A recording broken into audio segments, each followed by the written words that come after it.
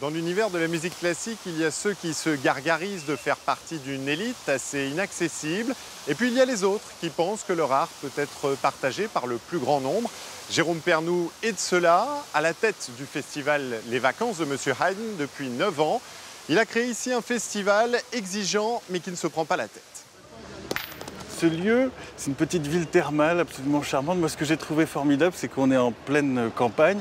Puis tout d'un coup, on a, euh, euh, grâce au terme, des hôtels, un casino, un hippodrome. Enfin, il y a un côté un petit peu surréaliste de se trouver euh, ici au milieu de nulle part avec, tout ça. Et du coup, c'est un lieu formidable pour accueillir les festivaliers.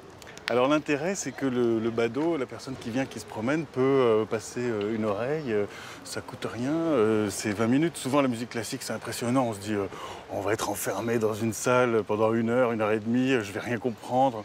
Et en fait, moi, j'ai vraiment tout fait pour qu'on qu évite ce, ce, phénomène, parce que, tout simplement parce que les œuvres sont tellement belles que euh, tout le monde peut y avoir accès.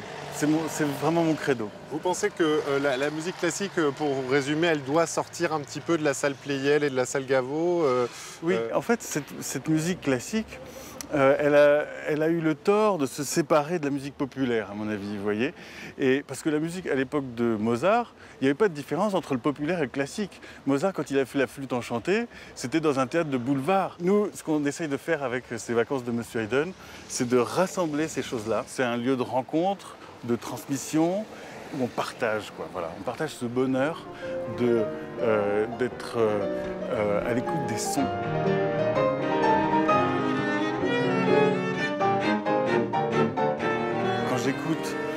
Euh, un trio de Schubert, par exemple, euh, j'entends des sons que Schubert entendait il y a 200 ans. Et euh, dans ces sons, il a mis toute son émotion à lui, avec tout son génie. Il a su transcrire, rien qu'avec des sons, toutes ses émotions, tous ses états d'âme, toute sa nostalgie, et puis ses, moments heureux aussi, c'est pas forcément nostalgique. Et alors, je suis moi-même, quand j'écoute ça, je suis augmenté de, ce, ces sentiments, de ces impressions, de cette, euh, de cette beauté.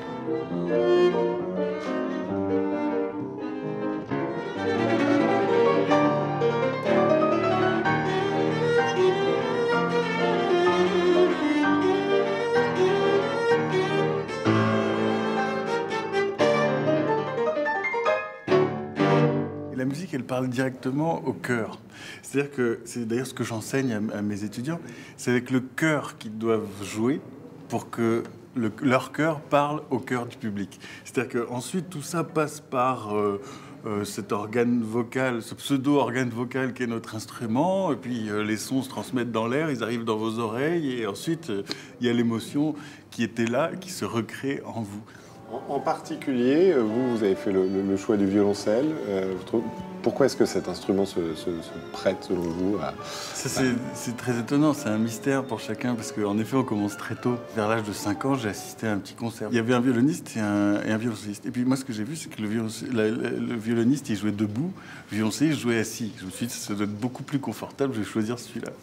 Donc c'est pas du tout des raisons musicales.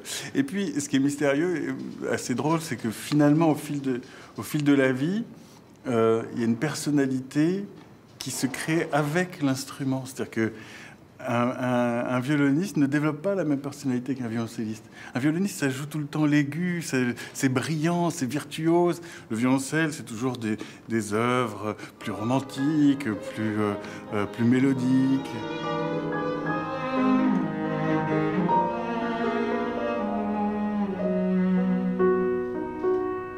En tout cas, on s'est trouvé. Quoi. Il y a une histoire quand même de, de, correspondance, je pense, entre, entre un caractère et un instrument. Mais je pense aussi que l'étude d'un instrument euh, forme le caractère d'une certaine manière. Je, je pense que ça, ça, va quand même dans les deux sens.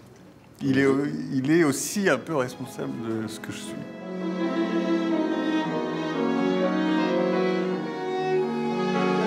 Alors pour ceux qui voudraient partager un peu de ces émotions musicales dont parle Jérôme Pernoud, Mozart, Schubert, Ducrot ou Haydn bien sûr, il reste encore quelques concerts ce soir et demain dimanche à La Roche-Posay.